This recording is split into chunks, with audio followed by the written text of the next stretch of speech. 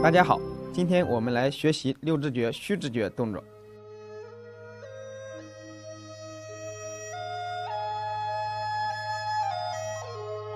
我将从以下两点进行讲解：公理与作用和动作讲解。首先，我们来了解一下虚字诀的公理与作用。一、中医认为，虚字诀与肝相应。口吐虚滞具有调理肝脏功能的作用，配合双目圆睁，还可起到疏肝明目的功效。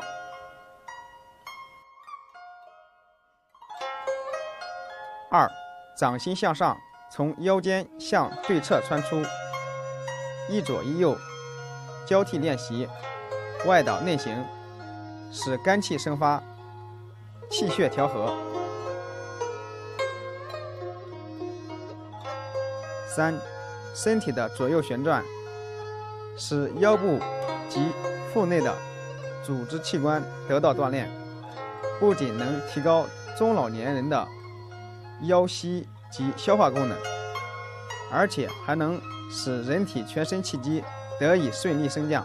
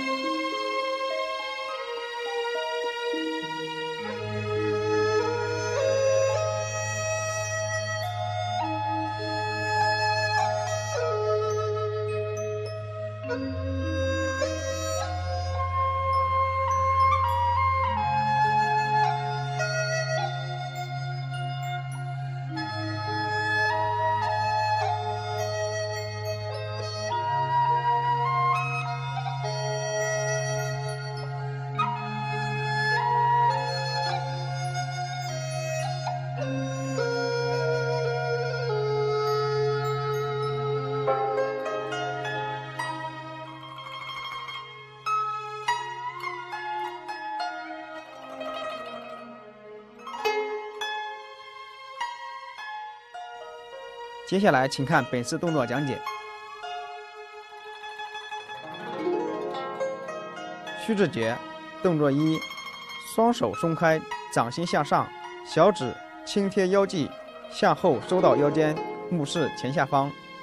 动作二：双脚不动，身体左转九十度，同时右掌由腰间缓缓向左侧穿出，约与肩同高，并配合口吐虚字音。双目渐渐圆睁，目视右掌伸出方向。动作三，右掌沿原路收回腰间，同时身体转回正前方，目视前下方。动作四，身体右转九十度，同时左掌由腰间缓缓向右侧穿出，约与肩同高，并口吐虚字音，双目渐渐圆睁。目视左掌伸出方向。动作五，左掌沿原路收回腰间，同时身体转回正前方，目视前下方，左右穿掌各两遍。本式共吐虚字音四次。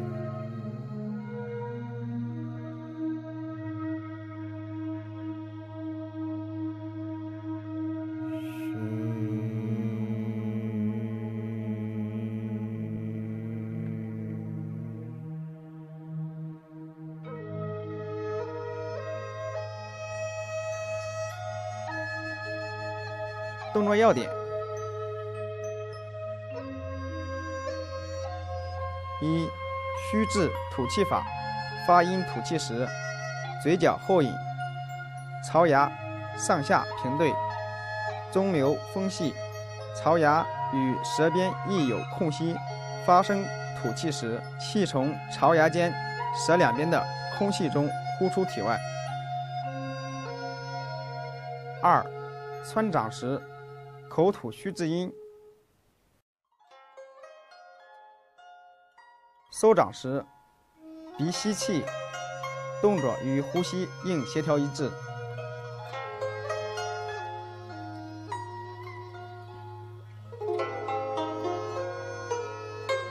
大家来看一下易犯错误和纠正方法。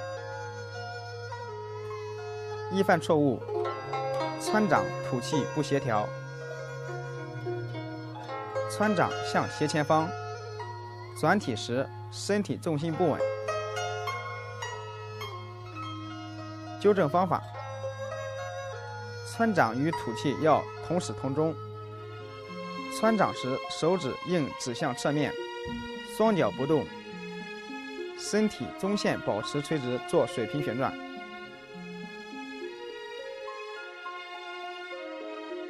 好，接下来请看完整示范。